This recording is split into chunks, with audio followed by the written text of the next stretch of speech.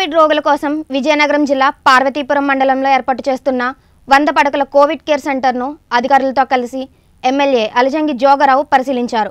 Parvathipuram division పరిధిలో రోజు రోజుకు వందల సంఖ్యలో పెరిగిపోతున్న కరోనా కేసుల మూలంగా ఆసుపత్రుల్లో బెడ్లు ఖాళీ లేని పరిస్థితులను దృష్టిలో ఉంచుకొని బాధితులకు సకాలంలో వైద్యులు అందించేందుకు ప్రభుత్వం కోవిడ్ కేర్ సెంటర్ ఏర్పాటు చేసింది.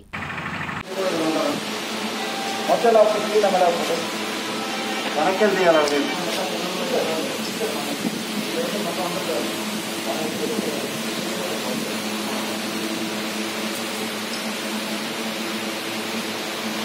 ఆ